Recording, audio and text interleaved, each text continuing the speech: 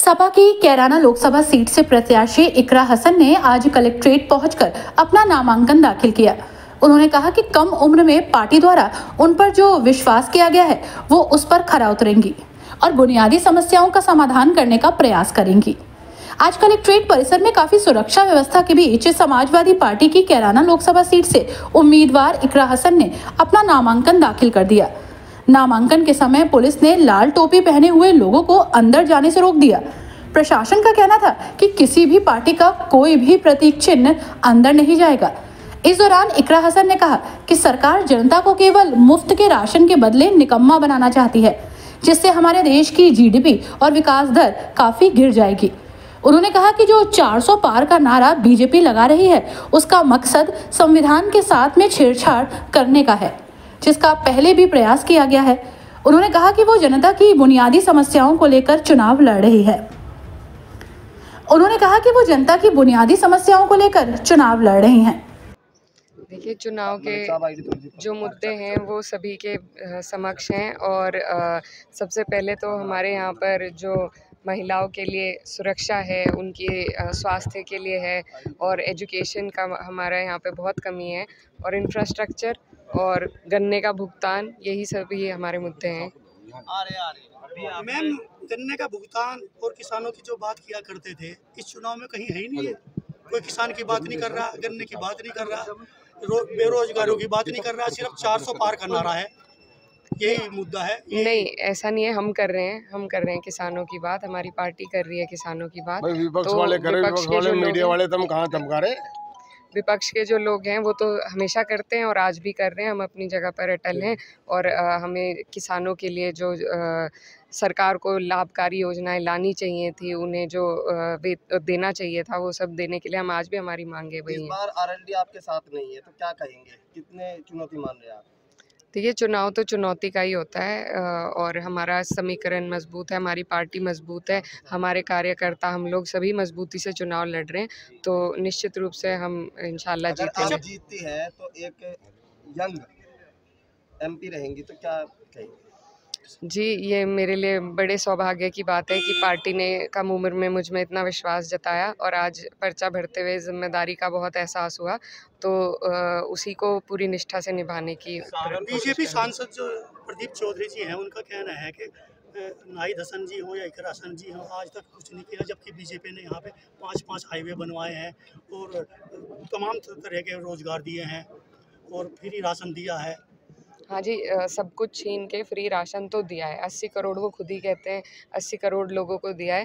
मुझे लगता है जब तक दोबारा अगर उनकी सरकार आई तो फिर डेढ़ सौ करोड़ को वो फ्री राशन ही देंगे। इस स्तर पर हमारे लोगों को ले आएँगे कि उन्हीं के सहारे हम बैठ जाएँगे, हमारी इकोनॉमी, जीडीपी सब खत्म हो जाएगी। हम सब सिर्फ़ सरकार की तरफ़ देखेंगे राशन के लिए। तो ये कोई इससे उन्हें कोई फ़ायदा की बात तो उन्होंने देश के लिए कही नहीं है।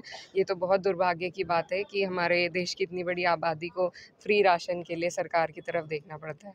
जी एक वीडियो वायरल हो रही है। आपकी आप कह रहे हैं आपकी बार जो 400 पार का नारा पार हो गया तो हमारा जो समाज है वो दोयम दर्जे का हो जाएगा।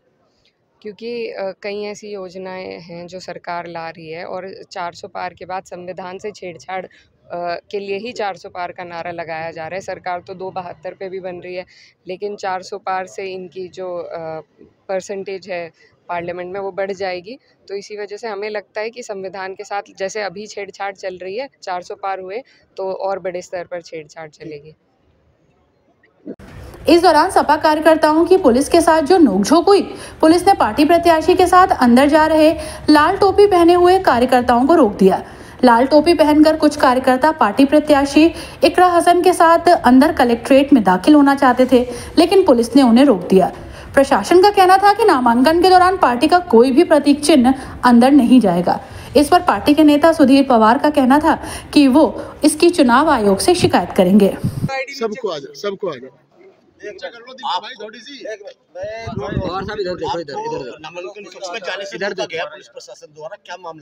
हमें रोका नहीं गया प्रशासन ने हम लोग पार्टी की जो हमारा उन्होंने कहा कि जो लाल टोपी है वो पार्टी के प्रतिनिधि करती है।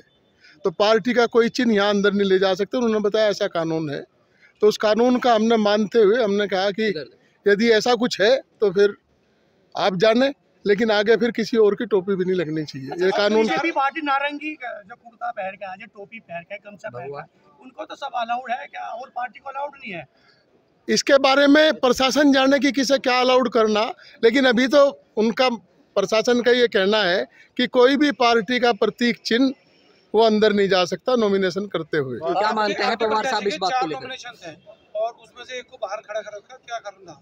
नहीं अंदर पाँच लोग हो सकते हैं। जब हम बाहर आ गए तो वो चले गए वो प्रशासन का उनका नियम बनाया हुआ। पवार साहब क्या मानते हैं आप इस चीज़ को लेकर के जिस तरह से जो है टोपी अंदर नहीं जाने दी? नहीं ये गलत बात है। टोपी भारतीय समाज का भारतीय पहनावे का प्रतीक चिन्ह है।